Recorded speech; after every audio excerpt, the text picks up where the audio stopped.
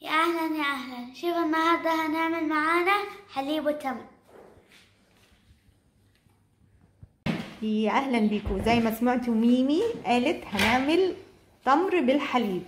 اولا عندنا اللبن. وهنغليه. هنغليه. بس مش اللبن كله هناخد جزء منه نغليه.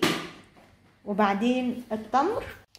هنعمل التمر وهنفصصه بالطريقة دي. نصين ونشيل البذرة من جوه. طب بالطول كده.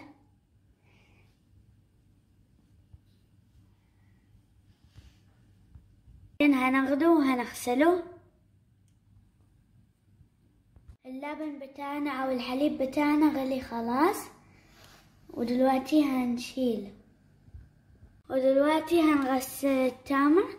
وهنحط ال- الحليب ال- اللي غليناه هنا ومع حليب تاني بارد. وتعالوا معانا وشوفوا بكرة إيه هيكون طعم التمر في الحليب. أوه أنا زي قلت أنا. المهم لا تنسوا تاكلوا تمر عشان طعمه حلو. وصحي التمر بناكله على الفطار كل يوم في رمضان. ولا تنسوا تعملوا like وال share وال subscribe على على فيديوهاتي وفيديوهات توتي ولا تنسوا تروحون على الانستغرام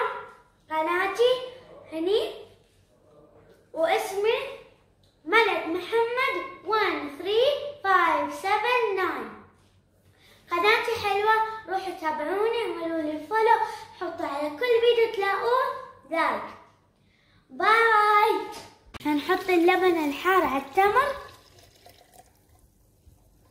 ودلوقتي هنحط اللبن البارد.